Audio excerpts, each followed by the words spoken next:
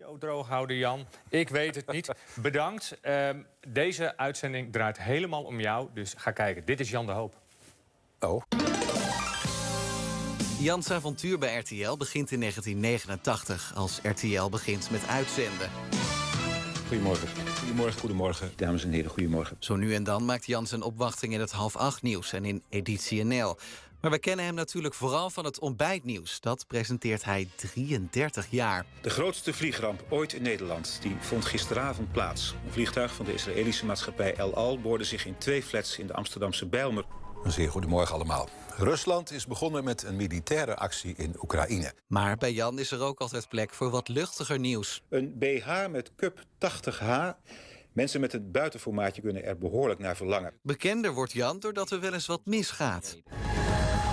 Oh, wat gebeurt hier? Nee, nee, dat gaat, die gaat terug, terug, terug, terug. Dat was de file, ik moet er even van slikken. Oh, ik heb nog een vraag, hoor ik. Oh, prima, ik wil best nog een vraag stellen. Vrijdag 12 augustus, dan gaat hier van alles starten wat niet helemaal de bedoeling is. Ik ben Jan de Hoop. Even iets uitzetten hier onder de tafel. Kan iemand dit even weghalen? En deze beelden bleven lang geheim. Tot nu, een van Jans vele rituelen voor de uitzending.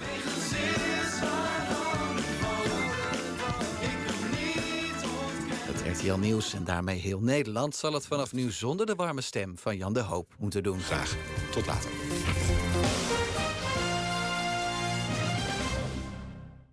Eh, ja, het moment waarvan ik wist dat het zou komen. Ik ga wat mensen bedanken, eh, voor zover ik dat nog red. Eh, om te beginnen, Koen, mijn man, die mij altijd gesteund heeft... heeft het setje gegeven om eh, dit werk te gaan doen. Eh, hij wordt ook altijd wakker van die wekker 's ochtends. En straks zit hij thuis met een eh, bossenbol op me te wachten. Dan Harm Tazelaar, mijn vorige hoofdredacteur... die mij altijd op de juiste momenten in het gareel hield. liefdevol, maar die mij vooral steunde... en waar ik ongelooflijk respect voor heb. Dan Heiko, mijn lieve chef van het ontbijtnieuws... die ik zelf heb mogen trouwen met zijn man. Zo goed gaan we met elkaar om. En daarmee wil ik ook de hele redactie bedanken van het ontbijtnieuws. Allemaal eh, goede, deskundige, lieve mensen... met wie ik altijd heel fijn heb gewerkt en de uitzendingen heb gemaakt. Dat geldt ook voor de techniek. Alle collega's van de techniek en uiteraard de weermensen, waaronder William. Visagie ook, maar vooral jullie, de kijkers. Ik heb eh, de afgelopen dagen duizenden... Ik wilde dit niet duizenden lieve berichtjes gekregen. En eh, daar ben ik jullie heel dankbaar voor. Ja, dit is nog erger dan Twan van Peperstraat, geloof ik. oh jee. Veel succes, eh Robbie, Bojan en Meike. En eh, dan zeg ik nog maar één keer namens het complete team... en in dit geval in het bijzonder namens mij. Een mooie dag.